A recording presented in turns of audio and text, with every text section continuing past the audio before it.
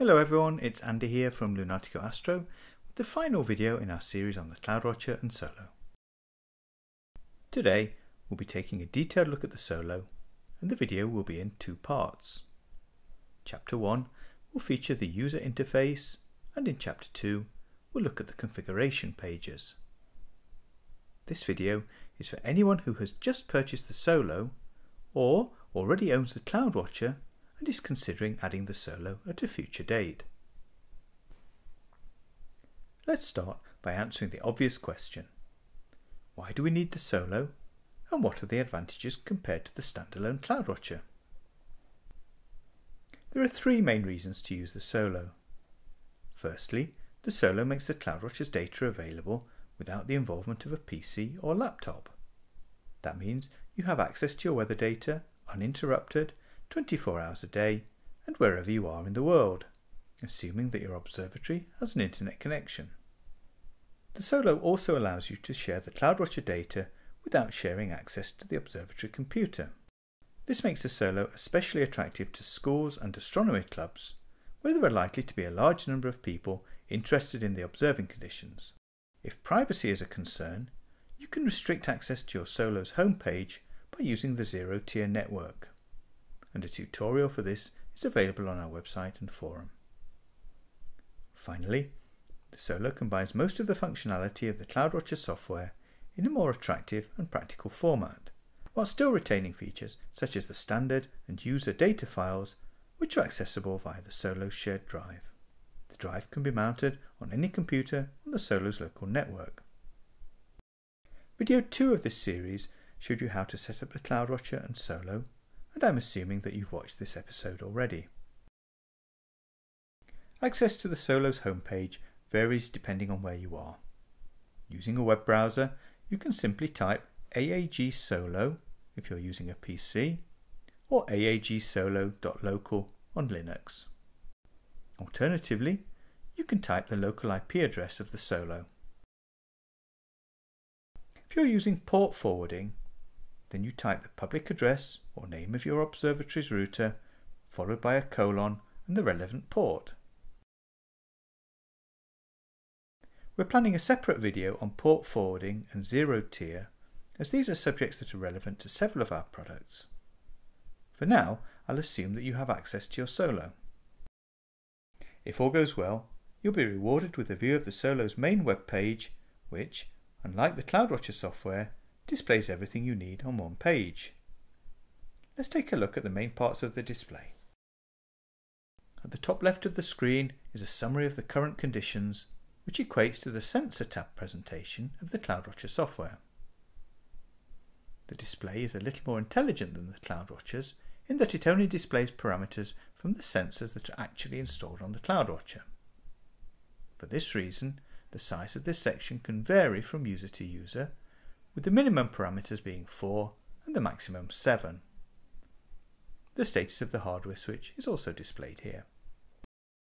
To the top right of the screen is the message area that changes size to accommodate the current conditions. This area is similar to the bottom bar of the CloudWatcher software and displays status and warning messages. Below these two sections and dominating the display are the individual graphs. Again, these vary from 4 to 7 depending on the specification of your CloudWatcher, and I'll come back to look at them in more detail shortly.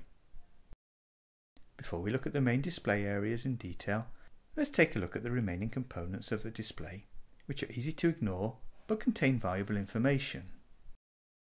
We'll start at the top right and work anti-clockwise. Here we can see the date and time, which can of course be set to your local time zone or to UTC. Top left is the name of the installation, which again can be personalised. Forming a strip down the left-hand side of the display are a number of controls whose purpose may not be immediately apparent. Luckily, each has a tooltip associated with it, and hovering the mouse over a button reveals the button's function. The first button starts or pauses the update of conditions from the CloudWatcher. This button is set to play, the CloudWatcher is read every 60 seconds and we can pause by pressing the button. Immediately below this is a button to manually update the current conditions. The next two buttons look very similar, and indeed their role is to do the same for the graph section.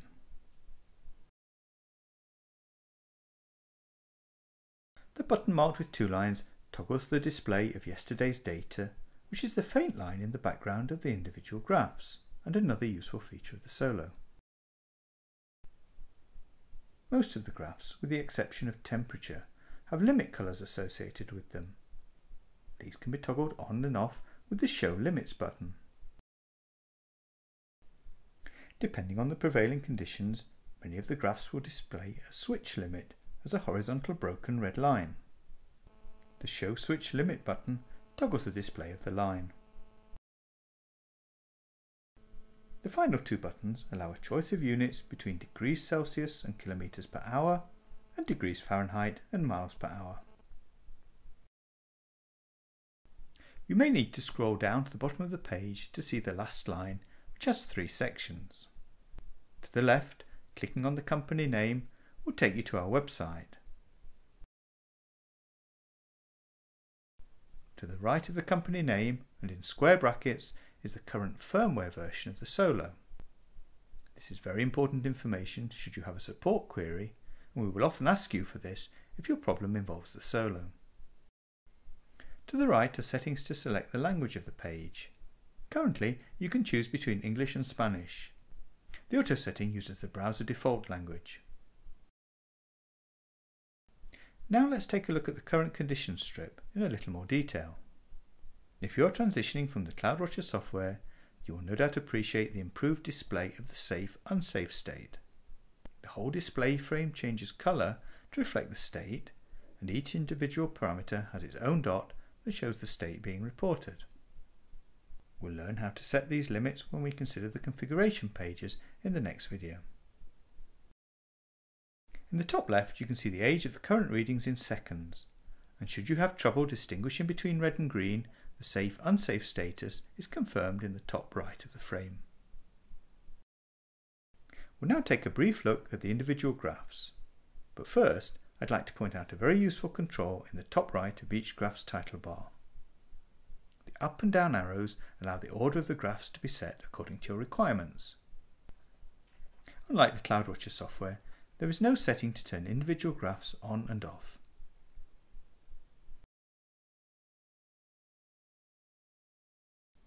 The sky temperature or clouds graph is one of the most important parameters and for that reason appears by default at the top. If you live in a temperate climate with rapidly changing weather conditions, then one benefit of the Solo will soon become apparent. The sky temperature will react very clearly to changes in cloud cover, and we suggest that for the first few days or weeks you regularly compare what you see from your window with the display of the CloudWatcher graphs. If you're using the Solo at a remote location and have access to an all sky camera, then this also will make it easy to correlate changes in sky temperature with the actual cloud formations. As with all the graphs, we'll learn the details of the settings in the next video. The temperature and dew point graph is a simple presentation of both parameters and it's very easy to visually determine the likelihood of fog by looking at the distance between the two lines.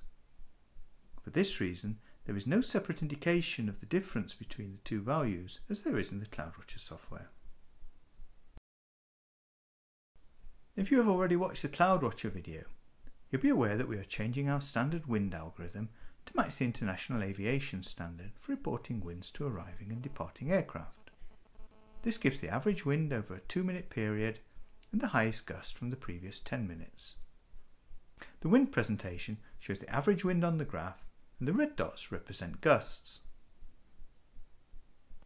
The wind graph also features a switch limit line, which, unlike the sky temperature graph, you will want to set immediately to a value that you consider appropriate. The atmospheric pressure graph, if present, gives you a simple visual representation of the pressure trend, which you'll probably know is more significant than the individual readings. The relative humidity is another optional parameter and is used in the calculation of the dew point. There's a switch limit associated with this graph, although it is probably not of primary interest to most users. The rain sensor indication, in contrast, is probably the single most important parameter for most users, as none of us want our equipment exposed to water. The blue line indicates rain, and the red line is the response of the heater element. This is an improvement over the CloudWatcher software, which has separate indications for rain and heater activity. The final graph is one of my personal favourites, the brightness level. This gives a very accurate indication of the beginning and end of the night and also provides a fascinating indication of the effect of the moon phase and the seasonal change in the length of the day. You can see that the switch limit defaults to a point around 20 minutes after the sun starts to set. You may need to adjust the limit upwards in order to allow your roof to open ahead of an observing session, to give time for the observatory temperature to stabilise before darkness. That concludes our overview of the Solos main interface. In the next video, we'll look at the various settings and configuration options. Until then, goodbye.